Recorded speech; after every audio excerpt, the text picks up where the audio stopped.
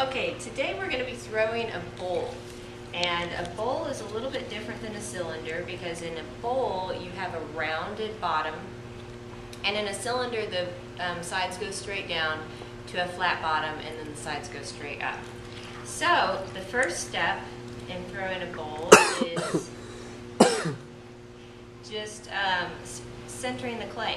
All right, so you want to center the clay and think about the dimensions of your base. If you're throwing something and you want the base to be really large, you might start out with a flatter piece of clay, a wider base. But if you want a thin base, you can make that really nice and tall, okay? And that applies to everything, not just bowls. So, once you get this centered, I'm going to just sink the well. So put your thumb in the center, go down to the bottom. I'm going to leave a little extra clay at the bottom for trimming. Alright, so then you open up sides, just like you would with a cylinder.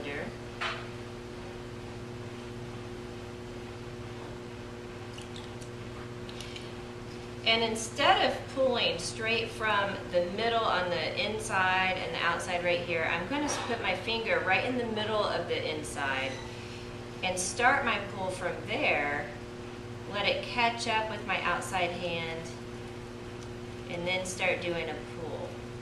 Most all bowls start out as a flower pot shape. So the outside um, is not going to look completely finished until after we trim it. Trimming bowls is really important and that's how you get your final shape. So we're going to get really close. But the main thing is you want to take special care with that inside so that the bottom of it is nice and round. When you're looking at a bowl, you don't always see the outside, especially if the walls are really wide or it, um, the diameter is really wide. So you want, the inside is what people see the most, so you want that to be nice and pretty.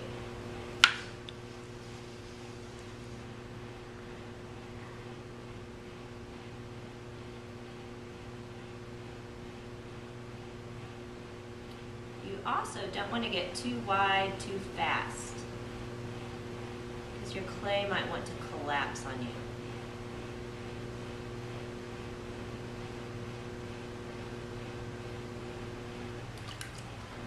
See this nice flower pot shape that I've got going.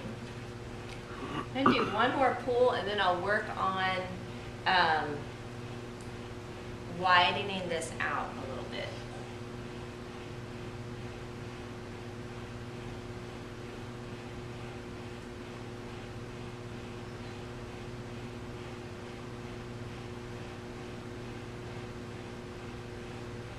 Right.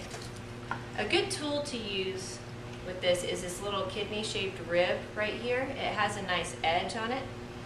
And uh, most people, when they start to make bowls, they'll define the inside shape by putting their rib at the bottom and pulling up.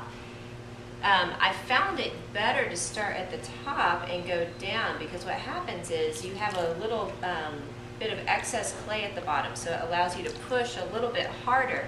And when you get past that, your hand jumps just a little bit, and so that might contribute to um, a little, what we call beginner's hump, right down at the bottom. So pushing from the top to the bottom to make that form seems to make a cleaner curve.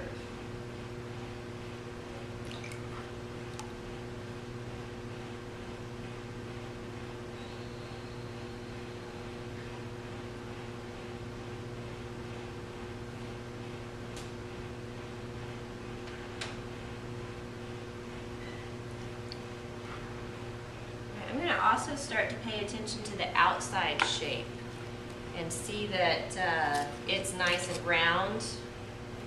It has a nice curve to it.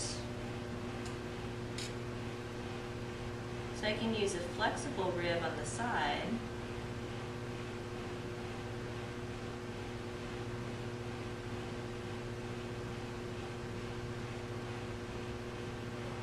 be sure that you're leaning over to look at the shape. So you can't always tell what the outside looks like from the inside. So I'm gonna lean down.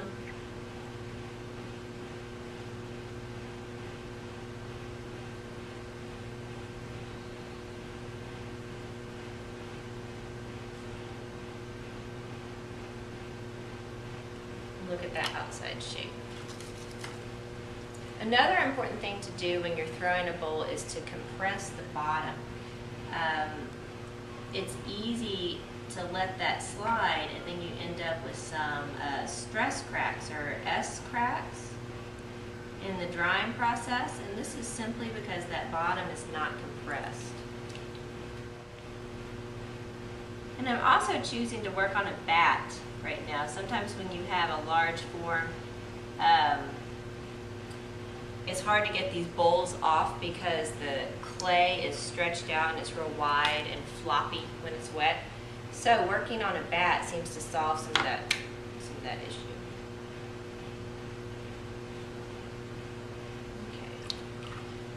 So I'm going to use my fingers, smooth that out on the top just a little bit.